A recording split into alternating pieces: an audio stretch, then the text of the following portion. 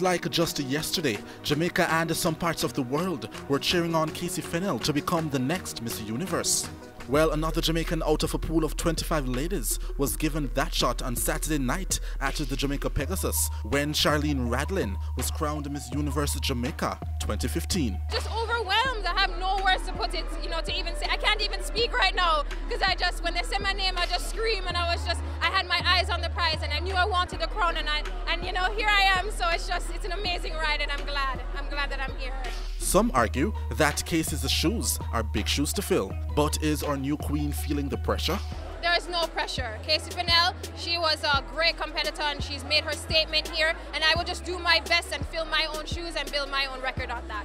Aside from all her responsibilities, the Miss Universe 2016 pageant, which is months away, is ultimately her major focus. I'm excited. I know it's going to be long hours to go in, and you know, but I'm really excited. I'm a hard worker, and I got here, so I'm at, I'm going to take it home. Outgoing Queen Kaci Fennell had this to say.